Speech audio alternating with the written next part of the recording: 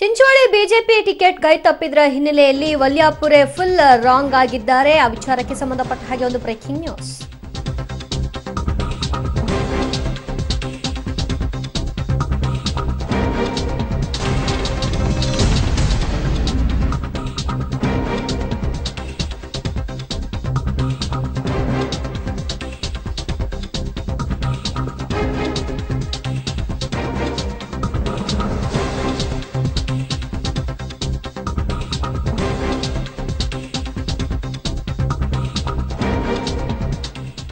ಚಿಂಚೋಳಿಯಲ್ಲಿ ರಾಜಕೀಯ ಧಗಧಗಿಸಲಿದೆ Chincholi BJP ticket ಕೈ ತಪ್ಪಿದ್ರ ಹಿನ್ನೆಲೆಯಲ್ಲಿ ಸುನಿಲ್ ವಲ್ಯಾಪುರೆ ಫುಲ್ ಗರಂ ಆಗಿದ್ದಾರೆ. ಕಾಂಗ್ರೆಸ್ ಸೇರುವ ಬಗ್ಗೆ ಬಿಜೆಪಿ ಮುಖಂಡ ಸುನಿಲ್ ವಲ್ಯಾಪುರೆ ಚಿಂತನೆಯನ್ನ ಕೂಡ ನಡೆಸ್ತಾ ಇದ್ದಾರೆ ಅನ್ನುವಂತಹ ಮಾಹಿತಿ ಲಭ್ಯವಾಗ್ತಾ ಇದೆ.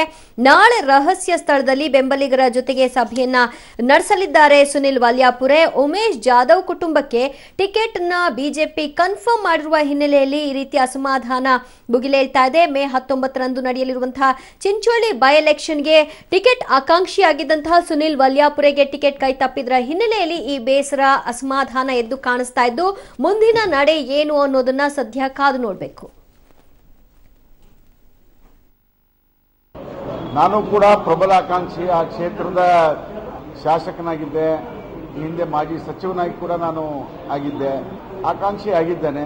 ಇನ್ನು ಸೆಂಟ್ರಲ್ ಪಾರ್ಲಿಮೆಂಟ್ ಕಮಿಟಿಗೆ ರೆಕಮೆಂಡ್ ಮಾಡಿದ್ದಾರೆ. ಪಕ್ಷ ಯಾರಿಗೆ ಟಿಕೆಟ್ ಕೊಡ್ತದೆ ನಾವೆಲ್ಲರೂ ಸೇರಿ ಒಟ್ಟಿಗೆ ಕೆಲಸ ಮಾಡಬೇಕು ಅಂತ ನಿರ್ಣಯ ಮಾಡಿದ್ದೇವೆ.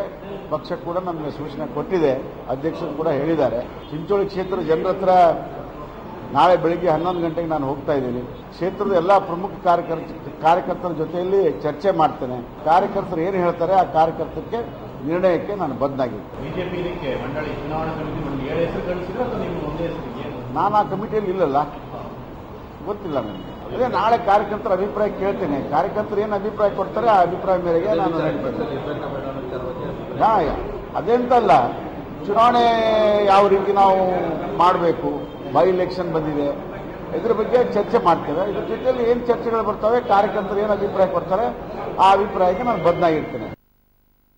ಈ ಕುಟುಂಬ ರಾಜಕಾರಣಿ ಅಂತ ಹೇಳಲಿಲ್ಲ ನಾನು.